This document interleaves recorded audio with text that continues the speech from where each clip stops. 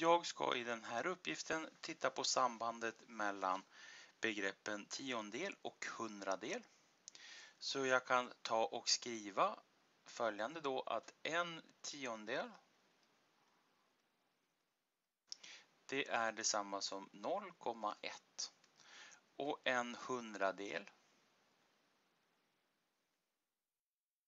är detsamma som 0,01.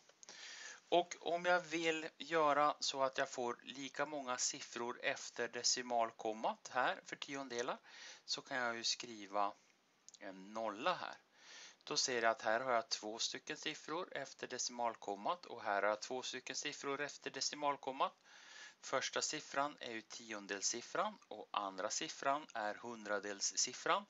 Men nu kan jag se här och titta mellan tiondel och hundradel och hur ser det ut?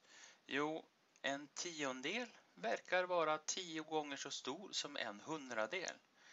Det vill säga, det går tio stycken hundradelar på en tiondel. Så jag kan skriva tio hundradelar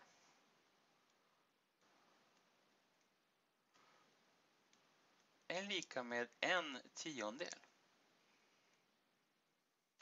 Så. Och om tio hundradelar är en tiondel, då måste också en tiondel vara lika mycket som tio hundradelar eftersom att jag har likhetstecknet. Så båda hållen gäller ju.